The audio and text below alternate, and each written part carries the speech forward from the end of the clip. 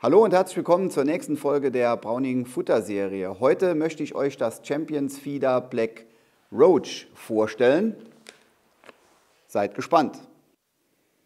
Unser Champions Feeder Black Roach ist ein Feederfutter, das von Jens Koschnik mitentwickelt wurde.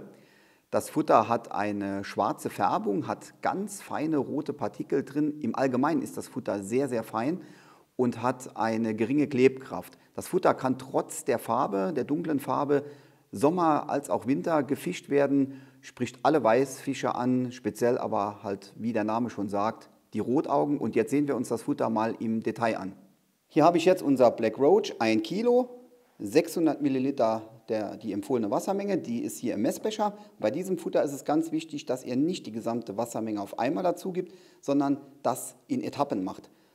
Ihr gebt das trockene Futter in den Eimer, macht dann, gebt dann 200 Milliliter Wasser hinzu, quirlt das, siebt das Futter, das angefeuchtete Futter durch ein 2 mm Sieb, gebt dann die restliche Wassermenge hinzu, quirlt es wieder und siebt es dann wieder durch ein 2 mm Sieb. Und jetzt seht ihr schön,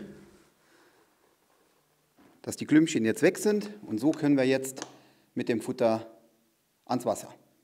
Jetzt füllen wir damit unseren Futterkorb und schauen uns an, wie das Futter unter Wasser arbeitet. Man sieht gleich, wie das Futter beginnt zu arbeiten, steigen Partikel auf und das Futter drückt sich nach und nach aus dem Korb.